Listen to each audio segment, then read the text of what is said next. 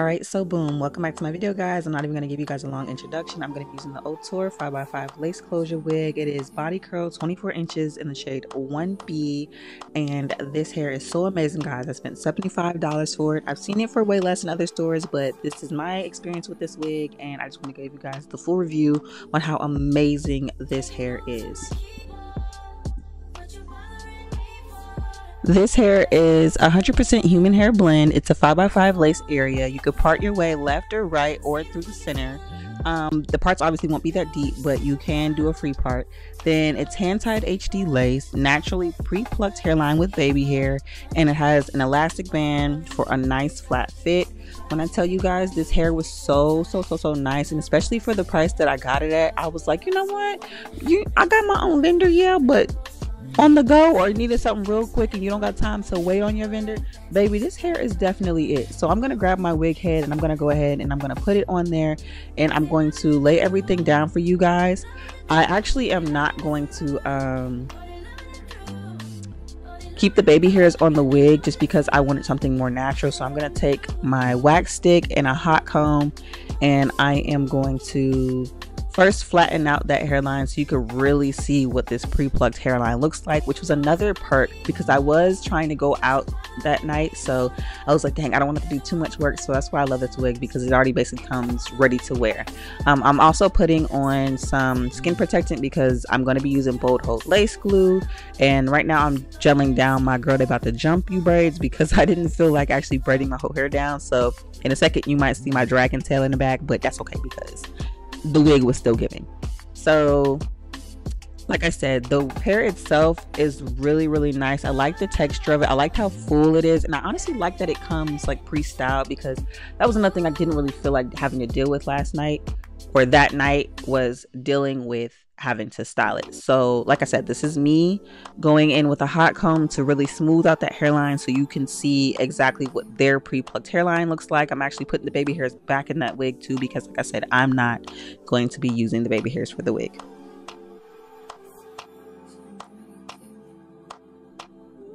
So this is the hairline that it comes with. It looks really, really nice, but because I like my hairline to look a certain way, I'm actually going to pluck it some more and then you will see me put the wig on and pluck the hairline again because to me it'll look different when it's on the wig head versus when it's on your head and you might have to go in some more and pluck some more areas that you feel like need to be plucked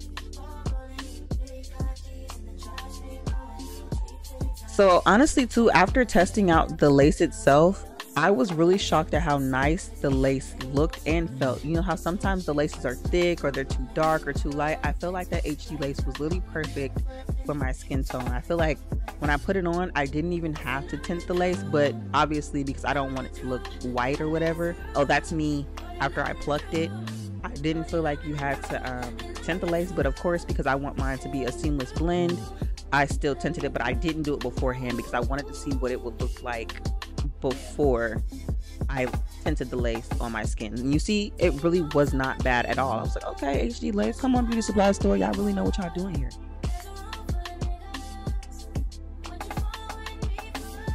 So after I adjusted it on my head, like I said, I'm going to go back in with my tweezers because now that it's on my head, mind you, I did not glue it down yet. I'm going to go back in with my tweezers and you're going to see me pluck some more areas that I just feel like, you know, I want a more natural hairline, not too thick or anything of that nature. So I'm just to go and I'm to pluck some more. I'm not going in in specific patterns because I feel like you get a more realistic hairline when you kind of just like bounce all over the place and not staying in one spot for too long. So that's what I'm doing here.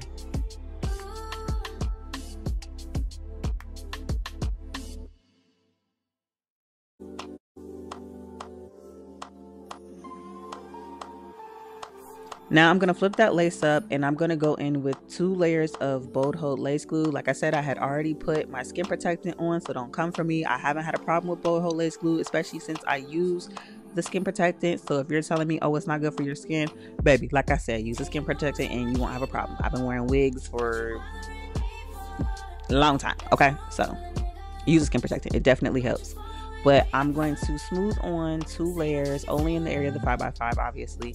And I'm gonna let it drown drown. What the freak? I'm gonna let it dry down. Oh there my honey in the background.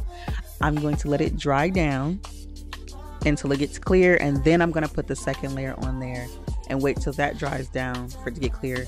So if you are wanting your glue to dry down fast enough too, I do highly recommend using some cool air on your blow dryer.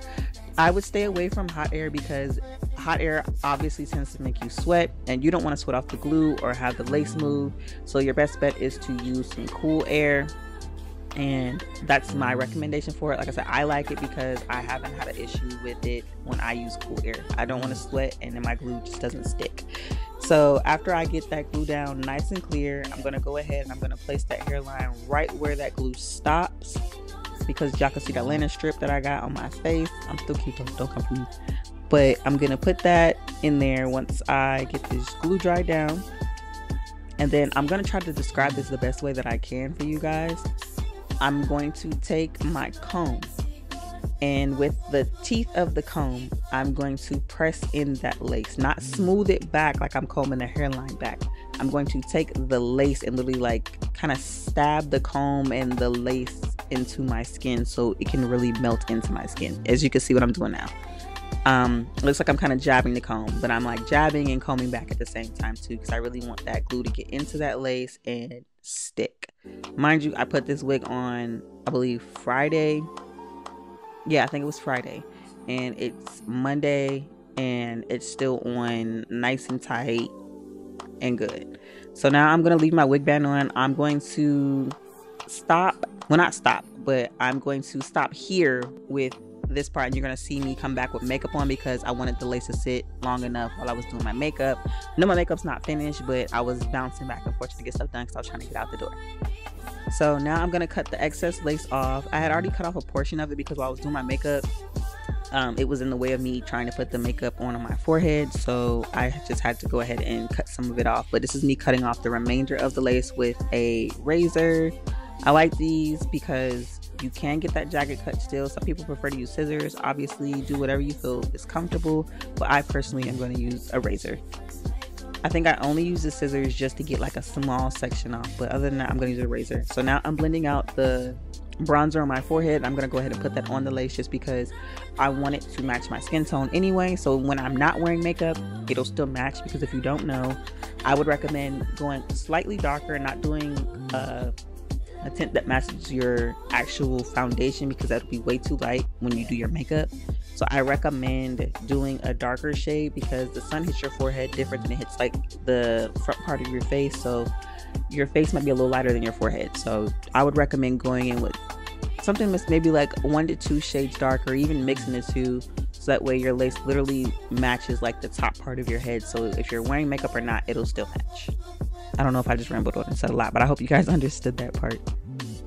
So now starting from the ends of my hair, I'm actually going to take my Denman brush or paddle brush and I'm going to start from the end just because I want to avoid knots. So don't start from the top because if you start from the top, you're going to run into knots and you're going to pull the hair and it's just not going to fall right or you're going to mess up your curls. So start from the end and I'm going to show you guys what the hair actually looks like once it's combed out because like I said, the hair already comes styled. So this is the side where the hair is already combed out and I love love love these big curls I know most of the time I normally just go for like extremely like wet and wavy or kinky curly or either straight hair. I've never really just done big curls and I love them. My husband loves them. My mom loves them. Everybody that sees this wig is like, oh my gosh, this hair is so pretty. And the wig does not look wiggy, so you don't have to worry about that. But the hair is so soft, so pretty. Like, I love the way it just comes out and the curls just fall and because I want the top part of my wig flat because you know we don't do lumpy and bumpy. I am going to take my wax stick again and I'm going to go back through the hair and I'm going to put it on the top part and over by the front part of the lace as well with a hot comb. And oh this is me taking the scissors because I saw some extra lace right there that didn't need to be there so I'm taking it off. And you can see I'm going in like a jagged motion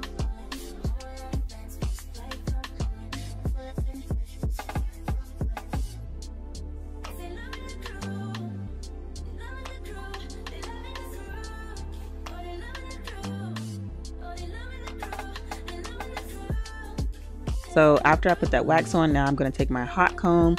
I did test it out. I put the wax, the wax. I put the hot comb on about 15 because I didn't want it to be extremely hot. um, and I'm just gonna run it through my hair. I'm not gonna go all the way down because I don't want to lose the curls in the front part of the hair. I'm just gonna make sure that the lace is flat, the top part of the hair is flat because I still wanted some nice curls, some nice body at the top part of my hair for the specific look that I was going for. Because like I said, this was a date night, and oh, I just saw something at the top of my hair and I had to cut it off. But I was going out that night, so I wanted to make sure that the curls were still giving date night sexy, sultry, very, very womanly. I really, really, really love this hair. Like, I would definitely give this hair a 10 out of 10. I would definitely go back to the beauty supply store and buy multiples of this hair in different colors, different styles. Like, this is definitely it if you just need something real quick. So now what I'm gonna do too is because I'm just playing with the hair and I'm trying to see how I want to fall in the front of my face. So I did want that kind of like peak in the front. So I will go back in with a um, hot comb again eventually and put that down in there but oh so this was another part too that I was realizing because some of the glue it didn't stick right there so I'm just gonna go back in with some Got2b and I'm gonna spray down my hairline and I'm not going to directly put it on there but I am going to like use my finger just for a more direct guide but oh so going back because I feel like I'm jumping all over the place I'm doing that peak like I said I wanted to have like that nice curtain in the front that nice you know, peak in the front. So this is what I'm doing now is creating that with my hot comb and going up in like a, a angled motion to get that peak, as you guys can see.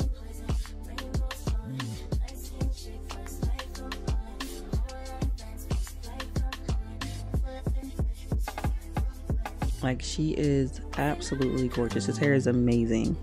Amazing. So i'm going in with my tweezers and i'm plucking the middle part because i don't like my part to look dark or seem like it's full of hair. Especially if i'm doing a middle part i need it to be giving middle part so i'm just going to go in and pluck the excess like knots off of that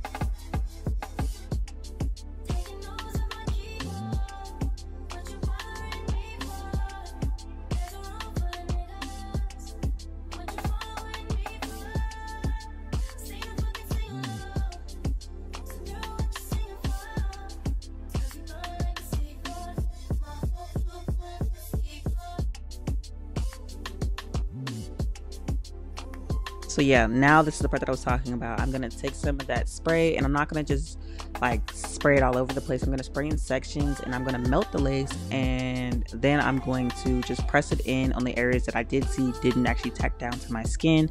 And I'm gonna go in with that cool air yet again so I can get it to lay down because I was rushing. I didn't feel like putting my wig band back on.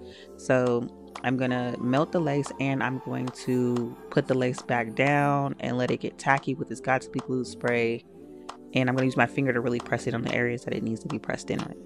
Remember, cool air. Use cool air.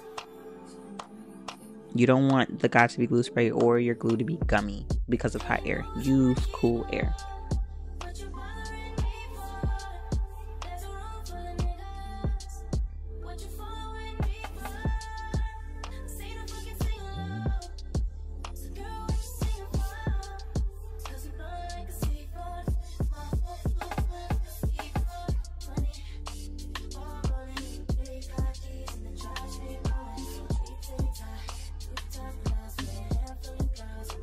Now I'm going to go in with my foundation, if I'm not mistaken. It was either my foundation or my concealer. I think it might have been my Tarte Shape Tape Concealer in the shade Tan Deep Sand.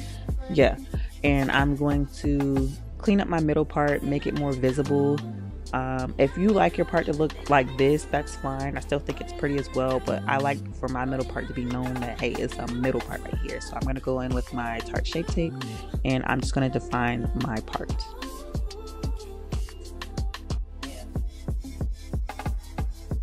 Afterwards, I'm actually gonna take like some old mascara. They even have like uh, these things that look like mascara, but it's for your hair for when you do things like this. But either or works fine. And I'm just gonna clean up my part. You can even use black spray if you want, but I'm just gonna clean it up to make it more defined, just in case some of that concealer actually got on the hair. So this is me blending it in now. And then, like I said, you're gonna see me take my mascara to clean up that part to make it nice and crispy.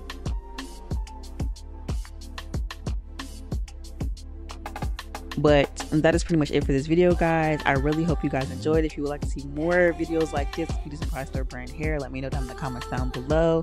Thank you guys for watching. I cannot wait to see you guys in the next video. I love you guys so much. Bye